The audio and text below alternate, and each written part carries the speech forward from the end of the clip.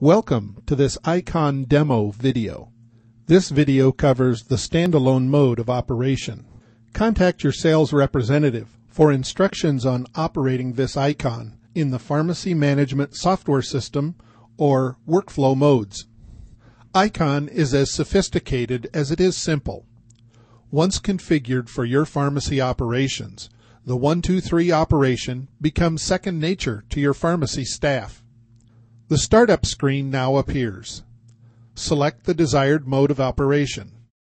RX validation and dispensing is used to validate the correct stock bottle matches the patient's pamphlet and then counts. RX dispensing or count mode is used for counting only. In this tutorial, we will select the RX dispensing count mode. Press the Continue key. After scanning the bottle, the counting pills screen appears.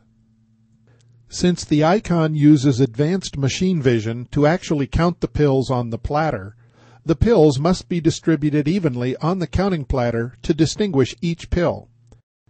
If you overpour from the stock bottle, use the spatula, which is stored on pegs located on the back corners of the Eyecon, to remove excess pills from the counting platter.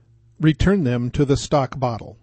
For small neck stock bottles, be sure to wrap your hand around the opening of the bottle and use your hand to lift the funnel gate to ensure pills flow into the stock bottle. Small pills typically flow freely so they can be easily poured into the funnel and then into the vial. If more pills are required than can easily fit on the counting platter in a single layer, don't try and squeeze them in as that will just cost you time press the Accumulate key. Then press Add to Total. Lift the counting platter and fill the vial. Wait for the dialog box to disappear and add additional pills until you achieve your desired quantity. Press Add to Total to check your total quantity. The Eyecon is equipped with two extra trays for sulfa and penicillin pills.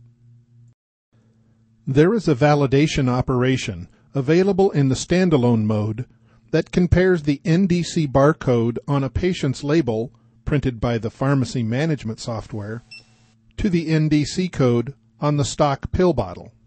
Note the quantity can also be embedded into the barcode. If the correct medication is selected, the Eyecon proceeds to the Count Pills screen. If the wrong stock bottle is selected, the Eyecon will notify the user. Contact GSE for an in-house demo and for additional information.